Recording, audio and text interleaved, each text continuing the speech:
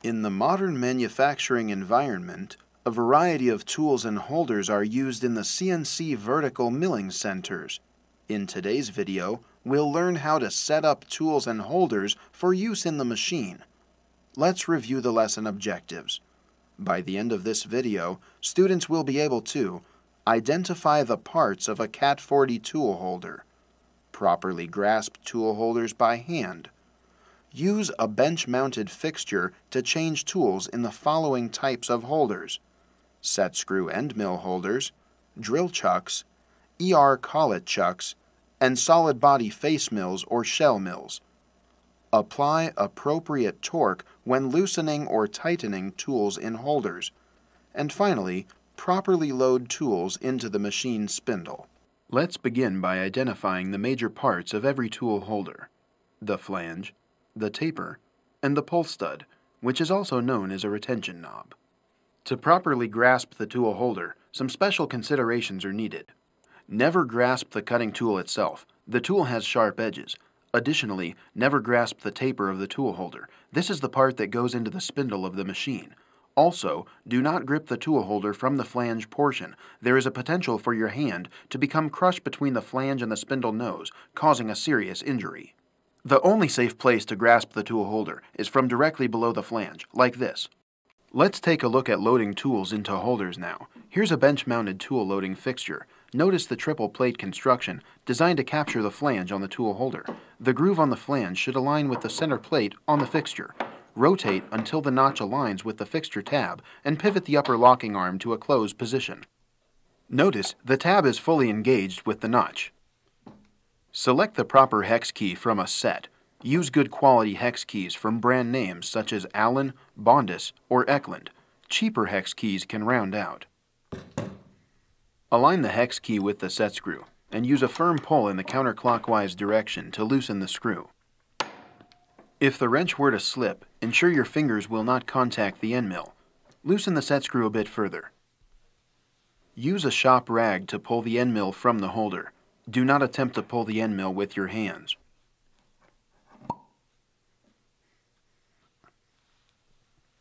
Now let's install an end mill to the holder.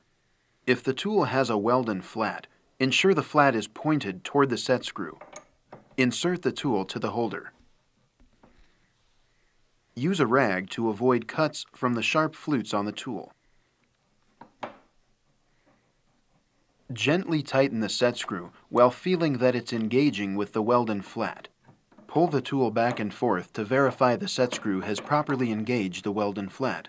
When engaged, center the flat beneath the set screw and tighten the screw, first to position, then with substantial torque by using the short arm of the hex key to engage the screw and the long arm to pull.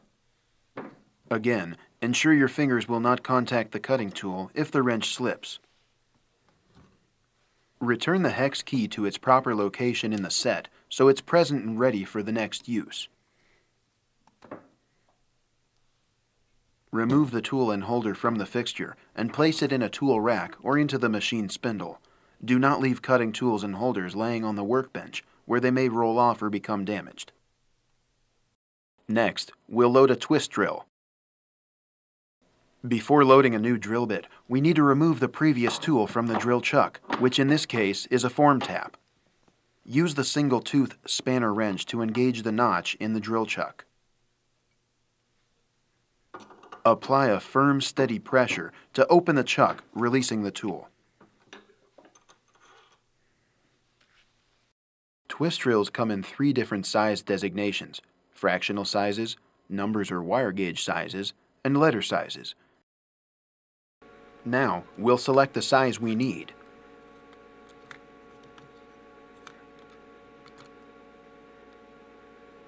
If you removed a drill bit from the chuck, return it to the proper place in the set so it's ready for the next use.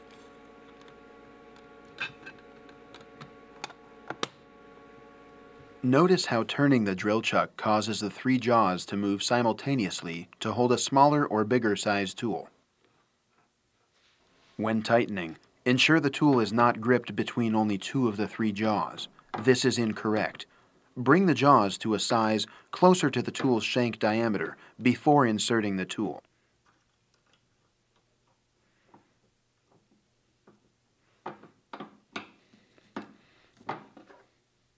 Here's that process again from a different angle.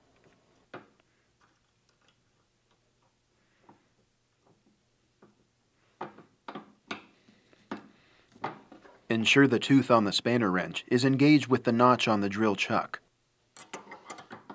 Apply firm pressure. It needs to be secure, but not crushing tight. The drill and holder are now ready for use. Next, let's change tools on an ER collet chuck type holder. This tool uses a multi-tooth spanner wrench. It cannot be placed over the side of the collet nut. The teeth must be engaged by sliding the wrench over the end of the collet nut, like this.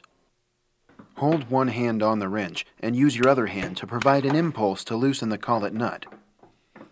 A second application of the wrench is usually needed to unlock the collet nut. The tool can then be removed, along with the collet and collet nut.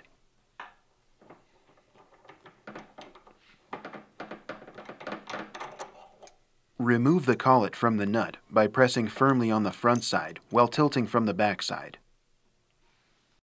ER collets typically come in sets of either inch or metric sizes.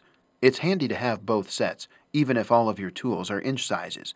This gives you flexibility in holding many sizes and types of tools, including end mills, drills, taps, countersinks, and more. Find a size that's a close slip fit to the tool, without excessive free play. It looks like this is the size to use. Notice the groove in the ER collet. The groove is retained by a clip ring embedded in the collet nut. Clip the collet into the nut by pushing while tilting. A firm click should have been heard and felt, and the collet should not easily fall out of the collet nut. Screw the collet nut partway onto the tool holder. Insert the cutting tool ensuring the collet grips only the shank and not the cutting flutes.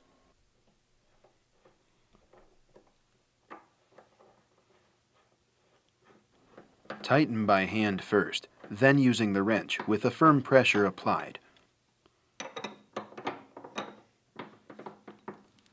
Again, ensure all teeth on the wrench are engaged with the collet nut.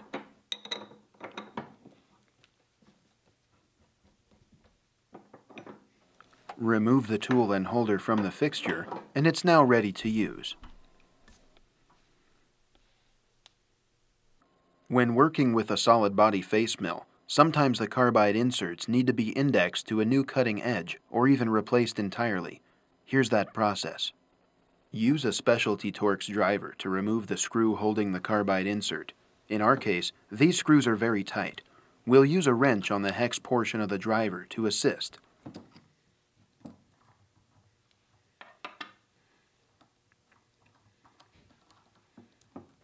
Index the insert to a new cutting edge and tighten the screw firmly. It's important to ensure that the tool body and insert are both clean during this process. Repeat the process for the remaining inserts around the tool body. Let's get ready to load tools into the machine. We'll call up a different tool station by typing T, followed by the tool number, and pressing ATC forward or reverse. The machine will change to the commanded tool. Using your left hand, firmly grasp the tool holder below the flange before pressing the release button. When unloading tools, be ready to take the weight of the tool and holder that will drop out. Warning, never press the release button without first having a hand on the tool holder. Releasing the tool without firmly grasping it first can cause damage to the tool and holder, as well as the workpiece, fixturing, and even the machine. To install a new tool, hold it below the flange and insert it into the spindle. Be sure the drive lugs are aligned with the notches in the flange. Give the tool a spin to check alignment. This one was done correctly. Here's what it would look like if we did it wrong. Notice, the drive lugs are not aligned with the notches in the flange.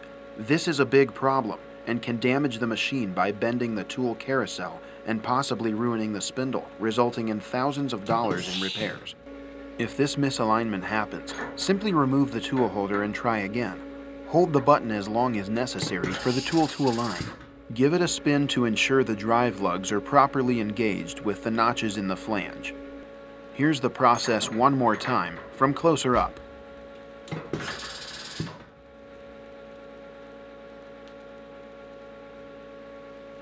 Note, never press the tool release button on the Haas control panel. This button performs the same function as the tool release button on the spindle cover and will drop the tool out of the spindle. It's recommended to disable this key using setting 76, but it's still good practice to never press it. Additionally, never remove the spindle probe from the machine. The spindle probe is a delicate instrument calibrated specifically for the machine it's installed to. Many machine shops, including the one at Clark Magnet High School, keep the spindle probe permanently in tool station number 10. This essentially eliminates tool station 10 from being available for other types of tools. The probe is sealed and will not be damaged by light chips or coolant in the machine. This concludes our tool loading video. Be sure to review the procedure with your instructor prior to setting up tools on your own. Thanks for watching and we'll see you in the next video.